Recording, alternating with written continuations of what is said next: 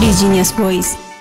नमस्कार सूचना जानकारी र मनोरञ्जनको त्रिवेणी इन्डिजिनियस टेलिभिजनको समाचारमूलक कार्यक्रम इन्डिजिनियस भोइसमा तपाईँलाई स्वागत छ। साथमा छु म रोजिना लामा। स्वतन्त्र सामाजिक सञ्चार संस्था इन्डिजिनियस मिडिया फाउन्डेसनले उत्पादन गरेको यो समाचारमूलक प्रस्तुति इन्डिजिनियस भोइस कार्यक्रम हो। यस कार्यक्रम मार्फत केही समसामयिक सामाजिक सन्दर्भ र ताजा जानकारीहरू प्रस्तुत गर्दै आएका छौँ।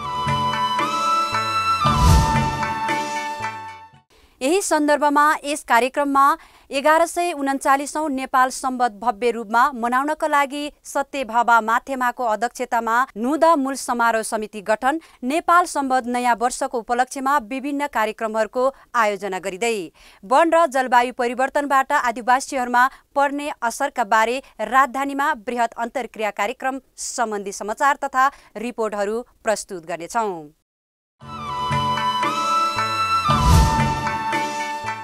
एघार सय उन्चालिसौँ नेपाल सम्बतको नयाँ वर्ष भव्य रूपमा मनाइने भएको छ। यो सम्बत मनाउनका लागि सत्यभावा माथेमाको अध्यक्षतामा नुद मूल समारोह समिति गठन भएको छ। तत्कालीन अध्यक्ष चित्तरञ्जन मानन्दरको अध्यक्षतामा बसेको सरकारवालाको बैठकले यो समिति गठन गरेको हो। नेपालको राष्ट्रिय सम्बद नेपाल सम्बदको नयाँ वर्ष अर्थात् नुद मनाउन विभिन्न उपसमितिहरू पनि बनाएको छ। यस अवसरमा आगामी कार्तिक बाइस गते अर्थात् गोवर्धन पूजाका दिन मूलत नेवार समुदायले घर घरमा महपूजासँगै नेपाल सम्बद मनाउने प्रचलन छ। यस अवसरमा नेवार समुदायले नु दया भिन्तुना अर्थात् नयाँ वर्षको शुभकामना आदान प्रदान गरिन्छ। राष्ट्रिय विभूति शङ्खधर ख्वाले देशभरका जनतालाई ऋणमुक्त पारेर त्यस दिनदेखि चलाएको सम्बद नेपाल सम्बद हो। नेपाल सम्बद चन्द्रमासमा आधारित समय चक्र अर्थात् साल हो। नेपाल सरकारले यस सम्बदलाई राष्ट्रिय सम्बद मानेको छ।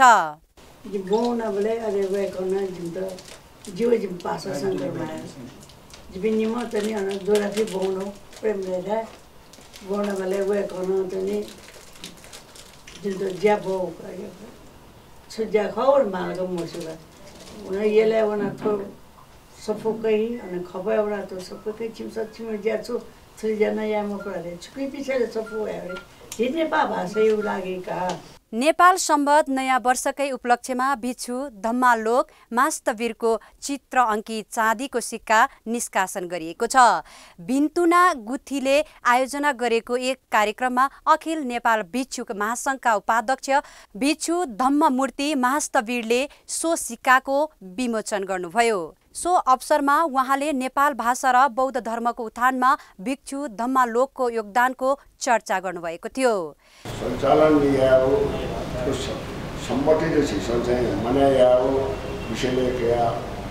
हर्षालय चाहिँ कमिटी गठन ऊ समारोह चाहिँ यन्त्रनौदो का ओला तस्कै बालको चिजहरू चाहिँ यन्त्रनौदो तर आठन आनन्द चिजहरू चाहिँ समारोह बालको लागि गठियास या फै गठियास चिजहरू बालकी दया फै गठियास चाहिँ छि नौड समारोह चाहिँ छेली फै बिछु धम्मालोक मास्तवीरलाई नेपाल भाषाको प्रयोग गरेको र बौद्ध धर्म प्रचारको आरोपमा विक्रम सम्बत दुई हजारमा देश निकालाको सजाय पाएका थिए। भिन्तुना गुथीले नेपाल सम्बत एघार सय पच्चिसदेखि निरन्तर विभिन्न व्यक्तित्वहरूको चित्र अङ्कित चाँदीको सिक्का निष्कासन गर्दै आएको छ।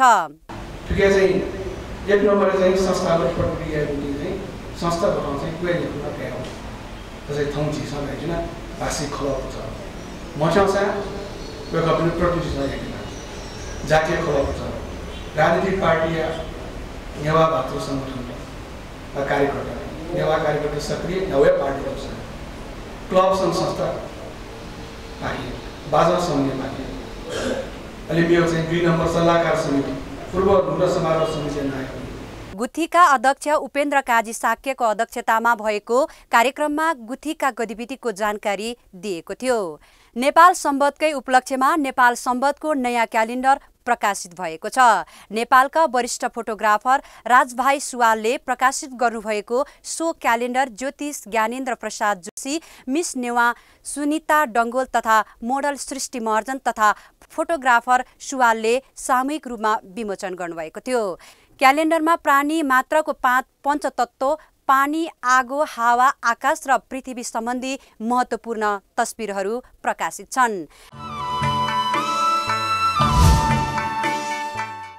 नेपाल सम्बत सम्बन्धी प्रसङ्ग यति नै। नेपाल सम्बतका विभिन्न गतिविधिहरूपछि हामी लाग्दैछौँ वन र जलवायु परिवर्तनबाट आदिवासी जनजातिलाई परेको असर सम्बन्धी अर्को प्रसङ्ग।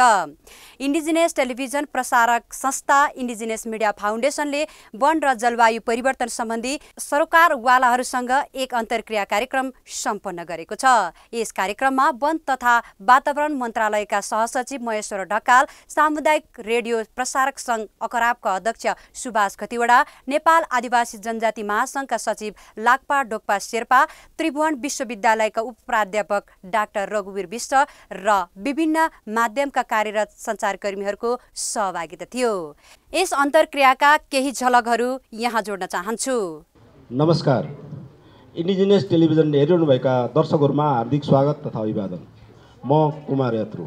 वन तथा जलवायु परिवर्तन सम्बन्धी अन्तर्क्रिया कार्यक्रमलाई सफल बनाउनको लागि हामीले वन तथा वातावरण मन्त्रालयका सहसचिव महेश ढकाललाई बोलाएका छौँ। उहाँ आउँदै हुनुहुन्छ। त्यसै गरिकन रेडियो सामुदायिक रेडियो प्रसारक सङ्घका अध्यक्ष सुभाष खतिवडा हाम्रो अतिथिको रूपमा आइसक्नु भएको छ। म उहाँलाई स्वागत गर्न चाहन्छु। यसै गरिकन नेपाल आदिवासी जनजाति महासङ्घका सचिव हुनुहुन्छ। उहाँ जलवायु परिवर्तन परिवर्तन सम्बन्धी विभागको प्रमुख हुनुहुन्छ। उहाँ लाक्पा ढोक्पा शेर्पा। उहाँलाई पनि म स्वागत गर्न चाहन्छु। यसै गरी हामीसँग हुनुहुन्छ डक्टर रघु रघुवीर विष्ट। उहाँ जलवायु परिवर्तन सम्बन्धी विद्यावारिधि गर्नुभएको उहाँ त्रिभुवन विश्वविद्यालयमा अर्थशास्त्रमा प्राध्यापन गराउनुहुन्छ। म उहाँलाई पनि स्वागत गर्न चाहन्छु। यसै गरी हामीसँग अन्य विज्ञ विशेषज्ञ पनि हुनुहुन्छ। त्यसै गरी तुङ्ग राई हुनुहुन्छ। उहाँ राष्ट्रिय कार्यक्रम निर्देशक नेपाल आदिवासी जनजाति महासङ्घको जलवायु परिवर्तनको विभागको निर्देश राष्ट्रिय निर्देशक हुनुहुन्छ उहाँलाई पनि म स्वागत गर्न चाहन्छु। यसै गरिकन हामीसँग हुनुहुन्छ यहाँ विभिन्न जिल्लामा सामुदायिक रेडियोमा कार्यरत बाइसवटा सामुदायिक रेडियोका प्रतिनिधि हुनुहुन्छ रेडियो कर्मीहरू हुनुहुन्छ उहाँहरूलाई म स्वागत गर्न चाहन्छु। त्यसै गरी हामीसँग प्रिन्ट अनलाइन र विभिन्न सञ्चार माध्यममा टेलिभिजन सञ्चार माध्यममा कार्यरत हामी सञ्चारकर्मीहरू पनि हुनुहुन्छ। खास गरिकन यहाँ हामी तिस पैँतिसजना छौँ। सबैलाई म सामूहिक रूपमा स्वागत गर्न चाहन्छु। एकपटक ताली लगाइदिनु न। म यो कार्यक्रमलाई सुरुवात गर्नुभन्दा अगाडि सहसचिवज्यू आउँदै हुनुहुन्छ। त्योभन्दा अगाडि म विषय प्रवेशको लागि यो कार्यक्रमको अन्तर्क्रिया कार्यक्रमको विषय प्रवेशको लागि चाहिँ दुईजना सहभागीहरूलाई भनाइराख्न समय दिन्छु सबैभन्दा पहिला। मेरो घर पाँचथरको तुम्बेवा गाउँपालिका वडा नम्बर एक आङ्ना। म पाँचथरको सामुदायिक रेडियो सुमहालुङ एफएमसँग आबद्ध छु। र मेरो प्रश्न चाहिँ त्रिवीको त्रिवीमा प्राध्यापनरत डक्टर रघुवीर विष्टज्यूलाई। प्रश्न के छ भने यो नेपाल सरकारले चाहिँ पक्ष राष्ट्र भएर अनुमोदन गरेका केही अन्तर्राष्ट्रिय महासन्धिहरू सन्धिहरू सम्झौताहरू यो आदिवासी जनजातिको अधिकार सम्बन्धीको एउटा अन्तर्राष्ट्रिय श्रम सङ्गठन एक छ नौ। आदिवासी जनजातिहरूको अधिकार सम्बन्धीको अर्को घोषणापत्र युएन ड्रिप संयुक्त राष्ट्रसङ्घीय घोषणापत्र। अनि जैविक विविधता सम्बन्धीको एउटा महासन्धि भनौँ यो सिडी सिबिडी अनि अर्को चाहिँ पेरिस सम्झौता जो जलवायु परिवर्तनसँग सम्बन्धित भएको छ। यिनीहरूले चाहिँ आदिवासी जनजातिको अधिकारलाई उनीहरूको प्राकृतिक स्रोत साधनमाथिको अधिकारलाई उनीहरूको सांस्कृतिक धार्मिक यो जल जमिन जङ्गलसँग सम्बन्धित अधिकारलाई प्रत्याभूत गर्ने भनिएको छ। र यही अनुसार चाहिँ नेपालमा पनि अब नेपाल सरकारले जलवायु परिवर्तन र यसले पारेको विशेष गरेर आदिवासी जनजातिले पारेको प्रभाव अनि जैविक विविधतामा जो प्रभाव परेको छ योसँग सम्बन्धित कार्यक्रमहरू अब सञ्चालनको क्रममा छ केही सञ्चालन हुने क्रममा छ केही भइरहेको पनि छ। यहाँ यो कार्यक्रमहरूमा चाहिँ आदिवासी जनजातिहरूलाई अब सरोकारवाला मात्रै भनिया रहेछ। अधिकारवाला चाहिँ किन नभनिया हुनसक्छ? किन नभनिया? यो विषयमा यो स यो प्रश्नको म जवाब चाहन्छु। म सूर्यमाया दनुवार रेडियो नमोबुद्ध काभ्रे धुलखेलबाट जस्तो मेरो पनि हाम्रो जङ्ग सरले सोध्नुभएकै प्रश्नमा थप छ। जस्तो उहाँले जति पनि सन्धि महासन्धिको कुरा गर्नुभयो होइन यो वन तथा जलवायु परिवर्तनले चाहिँ विशेष गरी असर पार्ने भनेको हामी आदिवासी जनजाति समुदायलाई हो। उनीहरूको विभिन्न क्षेत्रमा धार्मिक आर्थिकदेखि लिएर हरेक क्षेत्रमा चाहिँ प्रभाव पार्छ। प्रत्यक्ष रूपमा प्रभावित हुने चाहिँ आदिवासी जनजाति समुदाय हो। तर अब नेपालमा चाहिँ के भन्छ यो रेड प्लस कार्यक्रम लगायत विभिन्न खालको यो कार्यक्रमहरू कार्बन उत्- उत्सर्ज उत्- उत्सर्जन न्यूनीकरण सम्बन्धी कार्यक्रमहरू चाहिँ धेरै आइरहेको चलिरहेको छ र आउने क्रममा पनि छ भन्ने सुनियो। यसमा चाहिँ यो कार्यक्रमहरू कार्यान्वयन गर्दाखेरि आदिवासी जनजातिहरूलाई कहाँ कसरी समेटिन्छ? जस्तो त्यो कार्यक्रमको कार्यान्वयनको लागि कुनै खालको नीति नियम पनि बनाइदिए होला। नीति निर्माणदेखि तल कार्यान्वयन लेभल ग्रास लेभलसम्म चाहिँ कसरी चाहिँ आदिवासी जनजातिहरूलाई समेट्ने चाहिँ नीति बनाउँदै हुनुहुन्छ? अब हाम्रो अब यो के अरे मन्त्रालयको आउनु भएको हुन्छ। मन्त्रालयको उहाँलाई उहाँलाई ध्यान आकर्षण गराइदिनु होला र यहाँ भएको हाम्रो आदिवासी जनजाति महासङ्घको हाम्रो टुङ्गा सर हुनुहुन्छ। उहाँ मार्फत नै उहाँलाई ध्यान आकर्षण गराइदिनु होला र अरू सरहरू जो हुनुहुन्छ यो विषयमा विज्ञता हासिल गर्नुभएको छ होइन? उहाँहरूले पनि अब कसरी समेट समेट्दैछ यहाँहरूलाई त केही जानकारी होला? हामीलाई प्रश्न पारिदिनु हुनको लागि हार्दिक अनुरोध गर्दछु। नमस्कार म विशाल राई पाँच थरको मिक्लाजुङ गाउँपालिका रेडियो रविमा आबद्ध छु। र मेरो प्रश्न छ सुभाष सरलाई। अब सामुदायिक रेडियो प्रसारक सङ्घमा धेरै रेडियोहरू आबद्ध छन् र जैविक विविधता यो जलवायु परिवर्तनबाट प्रत्यक्ष असरमा परेका छन् ती आदिवासी जनजातिहरू। र ती आदिवासी जनजातिलाई सुसूचित बनाउन र त्यस्ता समस्याहरू आउनभन्दा अगाडि विभिन्न प्रकारको जानकारी गराउनको लागि तपाईँको भूमिका के रहन्छ? त्यो प्रश्न। हवस् धन्यवाद। म रघु सरबाटै यसको जवाफ लिने प्रयास गर्नेछु। सबैभन्दा पहिला म उहाँलाई नै यो अहिले उठेको प्रश्नहरूको सम्बोधन गरिदिन मन गर्छु। अहिले चाहिँ नि साह्रै गाह्रो प्रश्न सोध्नुभयो। तर म पहिला बहिनीकोबाट सुरु गर्न चाहन्छु। जलवायु परिवर्तन यदि हामीले हेर्दै जाने हो भने हामीले ल्याएको चिज होइन यो। विकसीय विका विकास चाहिँ जुन राष्ट्रहरूले आफ्नो चाहिँ विकासको क्रममा औद्योगिक विकासको क्रममा जुन उत्सर्ग कार्बन उत्सर्जन गर्यो त्यसले गर्दाखेरि तपाईँको जलवायु परिवर्तन भइरहेको अवस्था हामी पाउन सक्छौँ। र उन्नाइस सयदेखिको यदि हामीले जलवायु परिवर्तनको हिस्ट्रीलाई हेर्ने हो भने तिस वर्ष पचास वर्षसम्मको जुन टेम्परेचर छ त्यसमा चाहिँ परिवर्तन भएर आइसकेपछि त्यसलाई हामी जलवायु परिवर्तनको रूपमा लिने गरेका छौँ र त्यसलाई हामी मान्यता राख्छौँ। तर यो चाहिँ तपाईँले अब अब जुन विकासशील राष्ट्रहरू छ हामी जस्ता गरिब देशका चाहिँ जनताहरूले त्यसको योगदान चाहिँ एकदमै न्यून मात्रामा छ तर हामीले भोग्नु परिरहेको छ। कारण किन भन्दाखेरि औद्योगिक राष्ट्रले गरेको कार्बन उत्सर्जनले गर्दाखेरि अब एटमोस्फियर त तपाईँको सबैको हो नि त। उहाँहरूले उत्सर्जन गरेको कार्बन पनि तपाईँको जुन चाहिँ हाम्रो वातावरण जलवायुमा गएर बस्ने भएको र त्यसको असर चाहिँ हामी जस्तो विकासशील राष्ट्रहरूमा देखिने गरिएको हामीले पाउन सक्छौँ। त्यसको एउटा सूचाङ्कको रूपमा हामीले एउटा तपाईँको चाहिँ स्नो मेल्टिङको रूप- रूपमा हेर्न सक्छौँ टेम्परेचर बढिरहेको अवस्था पाउन सक्छौँ र पानीको जुन चाहिँ नि मनसुनको जुन साइकललाई हेर्नु हो भने कुनै बेला तपाईँको चाहिँ दस दिन अगाडि आउँछ। तपाईँले नसोचेको भन्दा कुनै दिन दस दिन पछाडि चाहिँ तपाईँ त्यो त्यो विषय त हुन सक्ला कि? तर उहाँले सोध्नुभएको छ नीतिगत सम्बोधन चाहिँ किन भएन कुरामै जान खोजेको त्यो कारणले गर्दाखेरि अब तपाईँले चाहिँ हामीले जलवायुको कुरा गर्दाखेरि म एउटा तथ्याङ्क अहिले सानो राख्न चाहन्छु। अहिले जलवायुको जतिवटा कार्यक्रम हाम्रो चाहिँ नापा र लापा चाहिँ कार्यक्रम गरिएको छ। त्यो चाहिँ जिल्ला विकास समितिको मार्फतबाट त्यो संरचनाबाट गरिएको पाइन्छ। अहिले हेर्नुहोस् तपाईँको संरचना नै छैन। त्यो चाहिँ खारिज गरेको अवस्था छ र उसले जुन जीविस भएको बेलामा कार्यक्रम गर्दाखेरि पनि पस्तर जिल्लामा मात्र तपाईँको चाहिँ पाँच लाख जनतालाई चाहिँ लक्षित गरेर तपाईँको कार्यक्रम गरिरहेको अवस्थामा त्यसले तपाईँको सबै मान्छेलाई समेट्न सक्ने अवस्था देखिँदैन। कार्यक्रमै एकदमै सानो अवस्थामा हामीले पाउन सक्छौँ। र त्यसले अर्को कुरा जुन भाइको कुरामा म आउन चाहन्छु नीतिगत रूपमा हामी यो जलवायु परिवर्तन विषय नेपालको लागि एकदमै नौलो विषय हो। र अर्को कुरा हामी चाहिँ सङ्क्रमण अवस्थाबाट गुज्रिरहेको अवस्थाले गर्दाखेरि जुन तरिकाले उहाँहरूले नीति निर्माणको प्रोसेस लागू गर्नुपर्ने हो या त्यसलाई चाहिँ संरचनागत रूपमा सम्बोधन गर्नलाई सबैलाई समेटेर चाहिँ कुराहरू लिएर गर्नुपर्ने चिज हो त्यो गरिरहेको अवस्था छैन। यदि नीतिलाई हेर्नुभयो भने लापाला नापाला हेर्नुभयो भने धेरै राम्रो शब्दहरू तपाईँले पाउनुहुन्छ राम्रो तरिकाले लेखेको पाउनुहुन्छ तर तपाईँले जुन चाहिँ हाम्रो यस विषयमा म अझै आउँला। अहिले चाहिँ म उहाँ पछि भनौँ न हाम्रो लाक्पा अ, नेपाल आदिवासी जनजाति महासङ्घको सचिव हुनुहुन्छ। तपाईँको संस्थाले चाहिँ कसरी हेरेको छ नि यी इस्युलाई जलवायु परिवर्तनलाई? म आदिवासी जनजाति महासङ्घको सचिव। म सर्वप्रथम हजुर सबैलाई फेरि पनि नमस्ते भन्न चाहन्छु। हाम्रो संस्थाले चाहिँ यो हाम्रो पनि त्यहाँनिर विभागै छ जलवायु परिवर्तन हेर्ने। अनि यो चाहिँ हरेक माथि चाहिँ रेड सेलमा भइरहेको पोलिसी मेकिङमा हामी पनि त्यसमा चाहिँ गएर भाग लिएर चाहिँ यो पोलिसी मेकिङमा चाहिँ हाम्रो कस्तो खालको इन्टरभेन्सन हुन्छ भन्ने पनि हेर्ने गरेका छौँ अ, अर्को चाहिँ अ, हुन्छ यहाँलाई म यहीँ रोकेर म हाम्रो सुभाष खतिवडा अकुराको अध्यक्ष हुनुहुन्छ।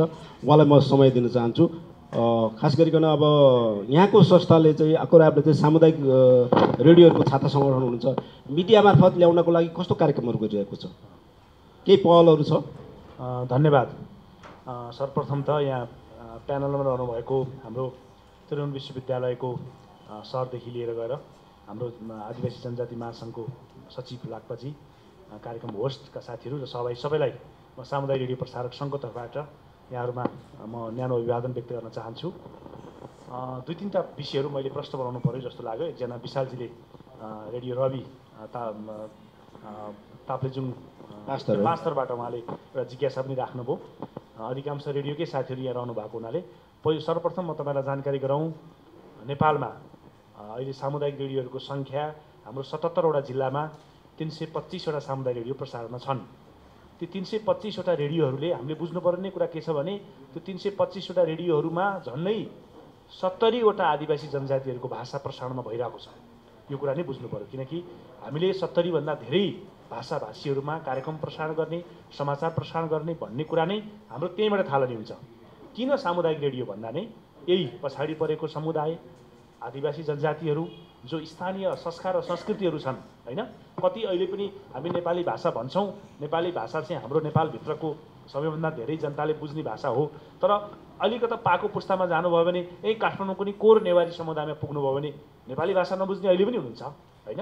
त्यो अवस्था छ। त्यसले गर्दाखेरि किन सामुदायिक रेडियो भन्दा आफ्नै भाषामा आफ्नै संस्कृतिमा आफ्नै लवजमा चाहिँ पहिला कुरा त हामी तीबाट थालनी गर्छौँ। यो कसको हो त? स्वामित्व भन्दा समुदायको स्वामित्व। समुदायको सक्रियता पनि हो। समुदायले नै त्यसमा स्वामित्व गर्नुहुन्छ। उहाँ उहाँहरूकै लगानीमा त्यो सञ्चालन हुन्छ। उहाँहरूकै सक्रियतामा त्यो सञ्चालन हुन्छ। तपाईँहरू अधिकांश अहिले सामुदायिक रेडियोमा काम गर्नुहुन्छ। किनकि हिजो पो सिंहदरबारभित्र रेडियो नेपाल थियो। आज त जिल्ला जिल्लामा रेडियो पुगेका छन्। अब सदरमुकामबाट पनि गाउँमा रेडियो पुग्न थालेका छन् होइन? त्यसले गर्दाखेरि त पहिलो कुरा त आदिवासी जनजातिहरूको आफ्ना समस्याहरू आफ्ना चाहिँ अहिलेसम्मका चाहिँ उद्यमशीलताहरू आफ्ना सिपहरू आफ्ना दक्षताहरू उहाँहरूले भन्न पाउनु भएको छ। पहिलो कुरा त्यहीँबाट सुरुवात गर्छु म। त्यो कुरा भन्न पाउने कुरा पनि ठुलो कुरा हो हेर्नुहोस्। किनकि अब यो विषय चाहिँ अब लिपिबद्ध हुँदै जान्छ नि त। पहिलो कुरा त नयाँ पुस्ताले हाम्रो भाषा नै अब बिर्सिसकेको अवस्था थियो। नयाँ पुस्ताले हाम्रो संस्कृति नै बिर्सि बिर्सने अवस्था थियो। हामी चाहिँ एउटा खालको चाहिँ मिक्स एउटा चाहिँ कल्चरमा छौँ। मिक्स एउटा चाहिँ संस्कृतिमा छौँ होइन? हाम्रो परम्परागत भाषा कला संस्कृतिको जगेर्ना गर्ने कुरामै सामुदायिक रेडियो सबैभन्दा अगाडि छ। म यो कुरा चाहिँ दाबी गरेर भन्छु। तर अब हामीले अहिले भएका सामुदायिक रेडियोलाई यो दिशातर्फ अहिले अब हामी यहाँ क्लाइमेट चेन्जको कुरा पनि गरिरहेका छौँ होइन? जलवायु परिवर्तनले ल्याएका चुनौतीहरू त्यो चुनौतीलाई कम गर्नको निम्ति हामी जस्ता सञ्चार माध्यमहरूको भूमिका के हुन्छ? हामी त्यसमा बस्न छलफल गर्छौँ। यो अहिले कसैले एउटा क्याप्सुल दिएर टक्क डिको पारिहाल्ने विषय होइन यो। हाम्रा नयाँ चुनौतीहरू सिर्जना भएका छन् किनकि हाम्रो हिजोको परम्परागत सिपहरू हराउन थालेका छन्। हाम्रा रैथाने कतिपय चिजहरू हराउन थालेका छन्। त्यो कुरालाई कसले जोगाउनु त भन्दा हाम्रो सञ्चार माध्यमहरू त्यही समुदायको स्वामित्वमा हुन थाल्यो भने त्यो समुदायको सिप चाहिँ त्यसले जगेर्ना गर्न थाल्छ। त्यो चाहिँ नयाँ पुस्तामा पुस्तान्तरण भन्छु म। पुस्तान्तरण हुँदै जान्छ हस्तान्तरण हुँदै जान्छ। यो चाहिँ एउटा महत्त्वपूर्ण पाटो हो। पहिलो कुरो सामुदायिक रेडियोले अहिले खेलेको भूमिका। अब यो क्षेत्रमा खास गरी समुदायको सिपलाई अझै चाहिँ समृद्ध बनाउने कुरामा समुदायमा रहेको जुन कला संस्कृतिहरू छन् त्यसलाई अझै समृद्ध बनाउने कुरामा हामीले के भूमिका निर्वाह गर्न सक्छौँ हो? यो चाहिँ अब छलफल बहसको विषय हामीले प्रारम्भ गरेका छौँ। अब सामुदायिक रेडियो प्रसारक सङ्घले यो सबै कुरा गरिदिने होइन। हामी सबै तिन सय पच्चिसवटै रेडियोहरू सबै स्वतन्त्र छौँ। हामी स्वतन्त्र रूपमा हाम्रा विषयवस्तुहरू के प्रसारण गर्ने भन्ने कुरामा छनौट गर्ने अधिकार हाम्रो आफ्नै छ। यसमा कसैले तपाईँको चाहिँ यो विषयवस्तु प्रसारण गरिदिए अथवा तपाईँले केन्द्रको फलानु रेडियो जोडेर त्यहाँको समाचार प्रसारण गर अथवा केन्द्रबाट प्रसारण हुने फलानु कार्यक्रम प्रसारण गर भन्ने किसिमको दबाब दिन मिल्दैन। यो हाम्रो स्वायत्त किसिमको स्वतन्त्र किसिमको समुदायको स्वामित्व भएको समुदायकै सक्रियतामा चल्ने सामुदायिक रेडियो भएको हुँदाखेरि समुदायले के विषयहरू चाहन्छन्? समुदाय आफ्नो कला र संस्कृतिको बारेमा छलफल बहस गर्न चाहन्छन्? समुदाय आफ्नो आत्मनिर्भरताको निम्ति अथवा आर्थिक चाहिँ उपार्जनको निम्ति केही सिपहरू सिक्न चाहन्छन्? हामी त्यही विषयमा कार्यक्रम र समाचारहरू प्रसारण गर्न सक्छौँ। हामी समुदायकै चाहना के छ? समुदायले के कस्ता समस्याहरू भोगिरहेका छन् त? अब अहिले तिन तहको सरकार आइसकेका छ। तिन तहको सरकार जे जे भए पनि सबैभन्दा चाहिँ समुदायसँग नजिक रहने सरकार त स्थानीय सरकार नै हो। स्थानीय सरकार मलाई अहिले मैले कानुन बनाउन भ्याएको छैन केन्द्रले मलाई अधिकार दिएको छैन भनेर पन्छुन पनि मिल्दैन। किनकि हाम्रो घर दैलोको सरकार त के स्थानीय सरकार नै हो। स्थानीय सरकारले हाम्रो रैथाने किसिमको हाम्रो चाहिँ जुन कला संस्कृति जोगाउनुको निम्ति के प्रयत्न गरेका छ त? सबैभन्दा अगाडि त हामीले त्यो देख्नु पऱ्यो नि त। यो विषय स्थानीय रेडियोले उठाउनुपर्छ अब। र त्यो स्थानीय सरकार र स्थानीय समुदायको बिचमा अन्तर्क्रिया गराइदिने माध्यम पनि हाम्रो स्थानीय सामुदायिक रेडियो बन्छ। र म यो कुरा बनाउँ र अर्को कुरा चाहिँ अहिले उहाँले भन्नुभयो कि हामी जलवायु परिवर्तनको विषयमा कुराकानी गर्दा म धेरै सैद्धान्तिक कुराहरू यसमा जान्दिनँ किन म पनि यो विषयको विज्ञ होइन। म एउटा सामुदायिक रेडियोको अभियन्ता हुँ। सामुदायिक रेडियोहरूलाई हामी कसरी समुदाय मैत्री बनाउने भन्ने कुरा किसिमको अभियानमा छौँ। तर मैले एउटा कुरा बुझेको कुरा के हो भन्दाखेरि हामीलाई जलवायु परिवर्तनको सन्दर्भमा हामी प्रवेश गर्दाखेरि हामीले नखाएको विष हामीलाई लागिरहेको छ भन्ने कुरा मेरो बुझाइ हो। किनकि यो जलवायु परिवर्तन गर्ने कुरामा मूलत मैले किन मूलत भन्दाखेरि भन्यो भने यसको कारण हामी होइनौँ। हामी आदिवासी पनि होइनौँ। हामी समग्र नेपाल पनि होइन। किनकि हाम्रो जङ्गलकै तपाईँले कुराकानी गर्नुभयो भने पनि हाम्रो जुन जुन खालको हामी समृद्ध हाम्रो मुलुक छ अझै यहाँ हाम्रो मन्त्रालयको सम्बन्धित विभागको प्रमुख आएर भन्नु होला त्यो विषयमा। मैले सामान्य बुझेको कुरा चाहिँ ठुला ठुला चाहिँ औद्योगिक मुलुकहरू जस जसको उद्योग कल कारखानाको कारणले गर्दाखेरि जलवायु परिवर्तन चाहिँ निम्तिरहेको छ। अहिलेसम्मको वैज्ञानिक खोज अनुसन्धानले भनेको कुरा त्यही हो। त्यहाँको उहाँहरूको कारणले गर्दाखेरि चाहिँ त्यो चाहिँ बिख चाहिँ उहाँहरूले चाहिँ खानु भएको छ। लागेको चाहिँ कसलाई छ त? हामी यहाँ नेपालीहरूलाई लागेको छ। सबभन्दा विपन्न सबैभन्दा पछाडि परेको समुदाय अरू सुविधाहरूबाट वञ्चित भएको समुदाय चाहिँ त्यो बिष चाहिँ उहाँहरूले बेहोर्नु परेको छ। मैले बुझेको कुरा त्यति हो। त्यो कारणले गर्दाखेरि त्यो बिष झार्नको निम्ति नखाएको बिष लागिरहेको छ त्यो जसले खाएको छ उसैलाई लगाउनुको निम्ति चाहिँ गर्नुपर्ने कुरा के हो त भन्ने कुरा चाहिँ सुभाष सरलाई सुभाष सरलाई एकजना यहाँ सहभागी हुनुहुन्छ सामुदायिक रेडियोको। उहाँले केही प्रश्न सोध्नु सोध्छु भन्नुभएको छ। उहाँलाई म समय दिन्छु। सरले आदिवासी जनजातिका भाषाहरूमा समाचार कार्यक्रम उत्पादन सामुदायिक रेडियोहरूले गर्दै आएका छन्। यसले आदिवासी जनजातिको भाषाको संरक्षणमा यसले बल पुर्याउँछ पुर्याउँदै आएको छ भन्ने कुरालाई जोड दिनुभयो। अब अकोर्यापको अ, कार्यनीतिक योजना यो बन्छ कि बन्दैन कि अब जलवायु परिवर्तनले आदिवासी जनजाति समुदायलाई परेको असर जो जीविकोपार्जनदेखि लिएर अनेकन क्षेत्रमा परेको असर अनि जैविक विविधतामा परेको असरको विषयमा चाहिँ अब सचेतनामूलक सामु समुदायलाई सशक्तिकरण गर्ने ढङ्गको कार्यक्रम चाहिँ सञ्चालन गर्छ कि गर्दैन? यो कार्यनीतिक योजना हुन्छ कि हुँदैन अकर्यापको जङ्गबहादुरजी म धन्यवाद। तपाईँले सोध्नुभयो। सुदूरपूर्वको हुनुहुन्छ जङ्गबहादुरजी। यसमा म तपाईँलाई एउटा कुरा भनौँ। अकराबको सञ्चालन मोडालिटी कस्तो छ? हामी त्यसमै प्रवेश गर्नुपर्छ। अझै हामी एकदम प्रजातान्त्रिक पद्धतिबाट सामुदायिक रेडियो प्रसारण सञ्चालन गर्छौँ। हाम्रा तिन सय पच्चिसवटै रेडियोहरू समान छन्। वार्षिक रूपमा हाम्रो साधारण सभा हुन्छ। साधारण सभामा हाम्रो प्रत्येक वर्षको साधारण सभाले आगामी वर्षको निम्ति कार्ययोजनाहरू तय गर्छ। त्यो साधारण सभामा तिन सय पच्चिस रेडियोकै आधिकारिक प्रतिनिधिहरू जम्मा हुनुहुन्छ। आधिकारिक प्रतिनिधिहरूले कार्ययोजनाको बारेमा चाहिँ हाम्रा आर्थिक तथा तपाईँको चाहिँ आगामी वर्षको नीति योजनामा हामी छलफल बहस गर्छौँ। त्यो छलफल बहसबाट हाम्रो नीति र योजनाहरू तय हुन्छन्। त्यसो भएको हुँदाखेरि त्यसमा अकुराबले मात्रै बनाइदिने भन्ने कुरा होइन। जङ्गबहादुरजी एउटा रेडियोको प्रबन्धक हुनुहुन्छ। तपाईँ आफै पनि त्यो राष्ट्रिय सम्मेलनमा सहभागी हुन सक्नुहुन्छ। त्यो राष्ट्रिय चाहिँ चाहिँ कार्यक्रममा तपाईँ सहभागी भएर हाम्रो योजना अब यस्तो बन्नुपर्छ भन्ने कुरामा तपाईँले हात उठाएर बकाइदाले आफ्नो प्रस्तावहरू त्यसमा राख्न सक्नुहुन्छ। त अहिले मैले भन्न खोजेको कुरा चाहिँ हाम्रा तिन सय पच्चिसवटै सामुदायिक रेडियोहरू स्वतन्त्र छन् स्वायत्त छन्। के विषयवस्तु मानिलिउँ कि ताप्लेजुङको सन्दर्भमा त्यहाँको जलवायुको सन्दर्भमा त्यहाँको आदिवासी जनजातिहरूको विषय उठाउने कुरा र सायद बझाङको आदिवासी जनजातिहरूको कुरा चाहिँ फरक पर्छ। किनकि तराईमा रहनु भएको चौधरी समुदाय होस् अथवा अरू थारू समुदाय अथवा अरू कुनै समुदायको सवाल ल सायद हिमाली भेगमा बस्ने समुदायको सवाल चाहिँ शेर्पाहरूको समस्या चाहिँ फरक छ।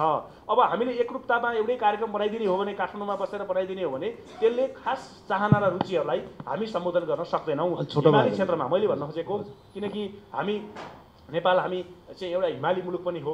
हिमालको कुरालाई हामी संसारभर हामीले एउटा चाहिँ पर्यटन ल्याउने कुरालाई पनि हामी जोडिरहेछौँ। तर वास्तवमा त्यही हिमालको नजिकमा बस्ने शेर्पाहरूको समस्याको विषयमा हामी कति गम्भीर छौँ त? अझ बिस्तारै जलवायु परिवर्तनले गर्दाखेरि हिउँहरू पौलिँदैछन् होइन? अब यसको म धेरै ज्ञाता त होइन। बिस्तारै हिमतालहरू बनिरहेछन्। हिमतालको विस्फोटनले उत्पन्न गर्ने सबभन्दा बढी जोखिममा को पर्छ त भन्दाखेरि त्यही नदीको छेउमा बस्ने आदिवासी जनजातिहरू नै पर्छन्। तपाईँ हामीले हेरौँ न अस्ति सिन्धुपाल्चोकमा गएको भूकम्प पछाडिको कुरालाई नै हामीले हेरौँ होइन? हिमाली क्षेत्र सबभन्दा बढी त्यसको चाहिँ पीडामा पर्यो। अब जलवायु परिवर्तनले आदिवासीलाई मात्रै पारेको प्रभाव चाहिँ होइन। आम रूपमा नेपाली नागरिकलाई अथवा विश्वका जनतालाई त्यसले प्रभाव पारेको छ। तर त्यसबाट हिजो नेचुरल रिसोर्स प्राकृतिक स्रोतमा आधारित जनजातिहरू चाहिँ बढी प्रताडित छन् बढी पीडित छन् भन्ने हाम्रो बुझाइ हाम्रो तर्क हो। अहिलेसम्मको अध्ययनले पनि त्यो देखाउँछ। जो एउटा प्राकृतिक हिसाबले नै उहाँहरूको जीवनयापन चलिरहेको थियो प्राकृतिक स्रोत साधनमै उहाँहरू नै चाहिँ आश्रित हुनुहुन्छ। अब प्राकृतिक स्रोत साधनको चाहिँ उसमै परिवर्तन आयो। चक्रमै परिवर्तन आइसके पछाडि सबैभन्दा बढी उहाँहरू प्रभावित हुनुभयो भन्ने हिसाबले अब यो प्रभावितहरू पीडितहरूको सन्दर्भमा चाहिँ राष्ट्रले नै पनि न्याय गर्नु पऱ्यो नि त। सम्बन्धित चाहिँ तपाईँको सेवा प्र- प्रदायी निकायहरूले पनि न्याय गर्नु पऱ्यो भनेपछि यो विषय चाहिँ कसले उठाइदिने त भन्दा त्यही चाहिँ समुदायको स्वामित्वमा रहेको सामुदायिकै सक्रियमा रहेको रेडियोले नै बढी हामीले आवाज उठाउनुपर्छ। र अब त्यसलाई नेसनलाइज गर्ने कुरा त्यसलाई राष्ट्रियकरण गर्ने कुरामा चाहिँ जस्तो हामीले सामुदायिक सूचना नेटवर्क भनेर पनि सञ्चालन गरेका छौँ जो तिन सय एउटै रेडियोबाट बिहान र बेलुका हामी प्रसारण गर्छौँ। त्यस्ता त्यो मार्फत पनि हामी ती कुराहरू उठाउँछौँ र यसलाई चाहिँ आगामी दिनमा खास गरी आदिवासी जनजातिहरू उहाँहरूको भाषा संस्कृतिहरू उहाँहरूको रैथाने कला सिपहरूको कुराको प्रवर्धनको निम्ति चाहिँ हामी प्रतिबद्ध छौँ। हामी त्यसमा अरू सञ्चार माध्यमभन्दा हामी जिम्मेवार पनि हुनुपर्छ तर हाम्रो मात्रै साधन स्रोतले पर्याप्त चाहिँ हुँदैन। त्यो कुरा चाहिँ हामीले भन्नु पनि पर्छ किनकि हामीसँग एउटा लिमिटेसन हामी सीमित नै हुन्छौँ। यो कुरा म तपाईँहरूको बिचमा राख्छु र आज यो अवसर पनि दिनुभयो खास गरी सामुदायिक रेडियो कर्मी साथीहरू यहाँ जम्मा हुनुभयो। तपाईँहरूको पनि यो चार पाँच दिनको बसाइ होइन? कोही साथीहरू तिन दिन बस्नु भएको छ। यो बसाइले हामी सामुदायिक रेडियोहरूले उठाउनु पर्ने सवाल चाहिँ के रहेछ त? अहिले हामी के उठाइरहेछौँ? हामीले आफैले गरिरहेको कामलाई पनि समीक्षा गरौँ। हामीले कसको सेवा गरिरहेछौँ त? हामीले समुदायको सेवा गर्नको निम्ति सामुदायिक रेडियो स्थापना गरेका हौँ। यसमा निर्धक्क हुनुहोस् तपाईँहरू। गर्वका साथ भन्नुहोस् म सामुदायिक रेडियोमा भोलिन्टियरली काम गर्छु। तर त्यो काम कसको लागि गरिरहेछौँ हामी भन्दा समुदायको निम्ति काम गरिरहेछौँ। तर विगतमा हामीले गरेका काम समीक्षा गरौँ। त्यो कामले समुदायलाई सहयोग पुगेको छ कि पुगेको छैन कि त्यो हामीले हेर्नुपर्छ। हिसाब किताब चाहिँ लेखाजोखा चाहिँ गर्नुपर्छ। समुदायले गरेको लगानीलाई उहाँहरूको चाहिँ मुठी काटेर उहाँले जसरी तपाईँहरूलाई सहयोग गर्नुभएको छ सामुदायिक स्थापना गर्नको निम्ति त्यसकोलाई निरन्तरता दिनको निम्ति जे काम गर्नुभएको छ त्यो चाहिँ त्यसको लाभ चाहिँ समुदायले नै पाउनुपर्छ। समुदायको पनि फेरि त्यसमा पनि फेरि समावेशिताको हामीलाई ध्यान दिनुपर्छ हेर्नुहोस् किनकि समुदायले त पाएको छ फेरि पुरुषहरू नै त्यसमा अगाडि। महिलाहरूको पनि सहभागिता त्यत्तिकै न्याय न्यायोचित ढङ्गले जानुपर्छ। म यो कुराहरू राख्छु। खास गरी मैले कन्टिन्यू यसमा बस्न सक्ने अवस्था पनि छैन। म अहिले छिट्टै बिदा हुनुपर्ने भावनाले यो सुरुकै खास गरी तपाईँहरूसँग मैले अलि बढी यो कुराहरू भन्न खोजेको कुरा चाहिँ धेरै साथीहरू रेडियोबाट आउनु भएको छ। त्यसो भएको हुँदाखेरि केही अनियोगिता पनि होला त्यसमा क्लियर गर्न खोजेको। र सामुदायिक रेडियो प्रसारक सङ्घले चलाइरहेको सिआइएनमै पनि त्यसमा पनि खास गरी विशेष प्रावधानसहित यो जलवायु परिवर्तन जलवायु परिवर्तनले आदिवासी जनजातिलाई पारेको प्रभावको विषयमा खास खास सामग्रीहरू प्रसारण गरौँ भन्दा पनि म यसमा सहमत नै छु। तर त्यो सामग्री उत्पादन गर्ने चाहिँ तपाईँले सिप सिक्नु हो नि अब। तपाईँले आफ्नो रेडियोमा जानुहोस्। रेडियोमा गएर रेडियोकै माध्यम मार्फत तपाईँले रिपोर्टहरू तयार गर्नुहोस् त्यो रिपोर्टलाई सिआइएनमा पठाउनुहोस् सिआइएनले त्यसलाई ब्रोडकास्ट गर्छ प्रसारण गर्छ। त्यो भनेपछि त देशभर तपाईँहरूले तयार गरेको सामग्री त पुग्यो। सुभाष खतेवडा हाम्रो रेडियो प्रसारक सङ्घका अध्यक्ष हुनुहुन्थ्यो। उहाँलाई यति भनेर धन्यवाद। हाम्रो यो कार्यक्रमको तर्फबाट र इन्डिजिनस अ, मिडिया फाउन्डेसनको तर्फबाट र कार्यक्रममा सहभागिता जनाइदिनु भयो यसको लागि धन्यवाद दिएर उहाँ जान्छु भन्ने भएर बिदा पनि दिन चाहन्छु।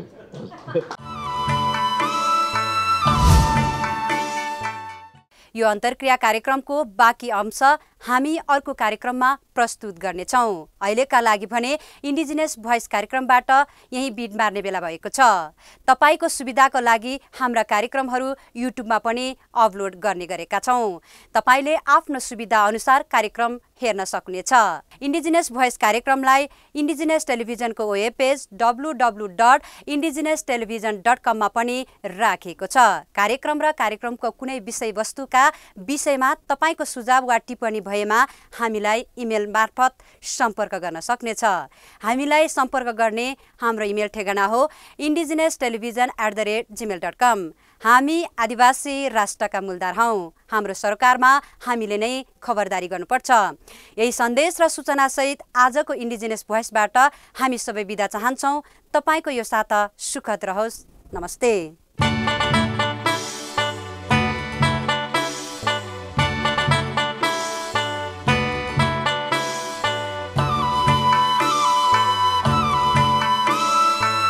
Virgínias, pois.